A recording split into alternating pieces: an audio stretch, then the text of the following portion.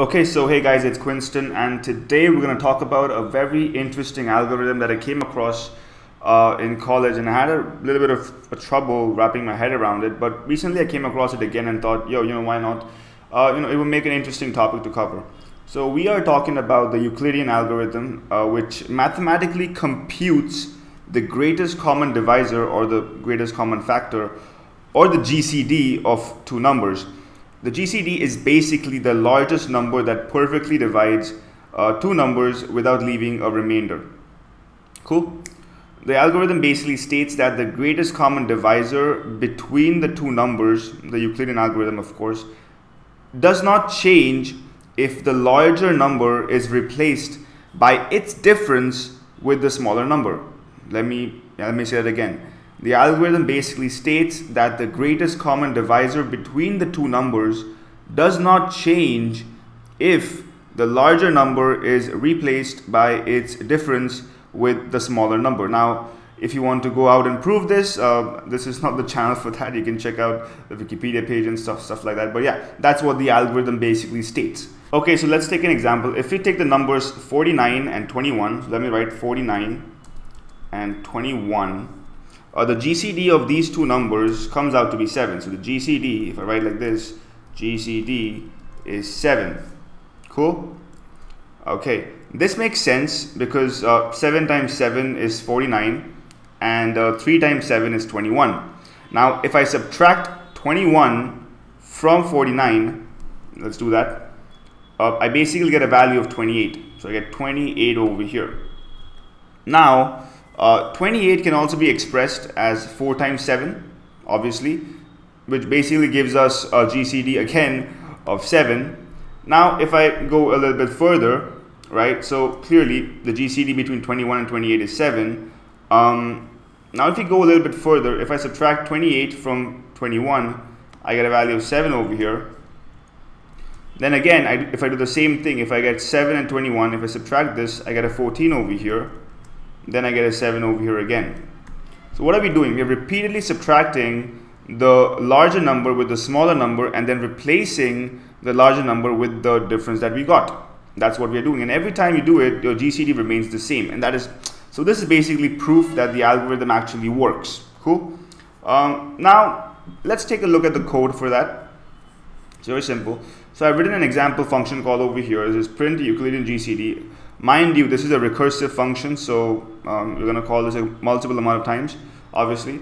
So in this, I'm passing the same value, 49 and 21. So this is the function. Let me go to the function call. Uh, def Euclidean GCD. Now, this is a recursive function. Um, for simplicity, the numbers in this case are a and b, obviously. Uh, we can call them whatever you want. You can call them, you know, num1, num2, whatever, I mean, whatever you feel comfortable with, but this is it. This is the function call, and these are the parameters, the numbers a and b. So uh, here, what we're doing is we are taking uh, the absolutes of a and b, and I'm giving those values back to the original a and b. Uh, this is because we don't want to deal with non-negative numbers. Zeros are fine, uh, but non-negative numbers are not appreciated. Uh, the next is basically, there are three conditions. Let me just open this up the three conditions are basically if a equal to 0 and b equal to 0 if a equal to 0 and b not equal to 0 if a not equal to 0 and b equal to 0 what happens in those cases? So what we basically do is um, the three conditions below are recursive base conditions. So they're base conditions you know whenever you have a recursive function you need a base condition to end the loop end the recursive function call end the stack. When um, so when a and b are both 0, it basically means that the two numbers don't really have a GCD, which might happen in some cases. Um, and, and so what you do basically is you return none uh, because you didn't find a GCD, so you return none because there is no GCD. And in this case, if you had a different pro programming language, you would use something like null or you know something else, I don't know, 0 or minus 1. When a is 0, it means that the GCD is stored in B simple as that. If A is 0, it means that you got your GCD and, um, and also obviously if B is not 0, then we return B. Vice versa, when B is 0, when B is 0, the GCD is stored in A. It's pretty straightforward, very easy to understand. Now, the actual algorithm over here. the algorithm is applied from, always remember, from the larger number to the smaller number. Always subtract the smaller number from the larger number and then, you know, in the algorithm, store it, you know, at the position of the larger number. So to check which number is larger, we use this little condition if A is greater than B. Cool? Cool. Um, so I know we said subtraction. I like we know like I know that in the in the initial theory we talked about subtraction, but repeated subtraction without you know putting in extra conditions can cause computational issues like I don't know subtracting by non-negative numbers stuff like that. So I don't want to or regularly people don't want to deal with subtraction in that manner. So we use a very easy technique. We use the modulus operator now, if you don't know what the modulus operator is, it basically gives you the remainder. So you know the there, there are three things in the division process. There's a dividend, there's a quotient, and the divisor. The dividend is basically the number that you want to divide. The divisor is the number that you want to divide with. The quotient is the number of times the divisions happen, the, the subtraction happens from the div dividend. And the remainder is the value that remains at the end that nobody wants to deal with. That's the remainder, right? So the, modulo the modulus operator directly gives you the remainder, which is why you don't have to subtract continuously, uh, manually. You can just use the modulus operator and get the remainder. And that's what you want in this case because subtraction, repeated subtraction basically gives you the remainder.